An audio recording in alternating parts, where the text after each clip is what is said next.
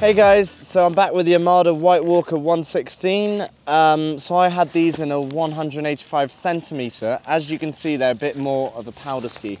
They got a bit more flex on them.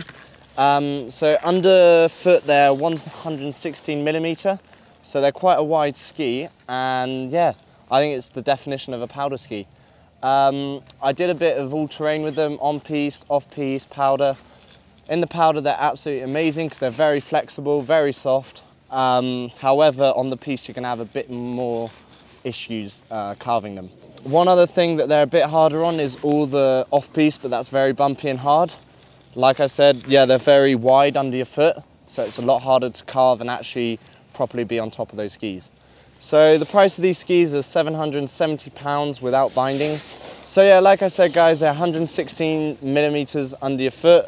However, off-piste you're gonna have a brilliant time and I highly recommend them for a lovely powder ski.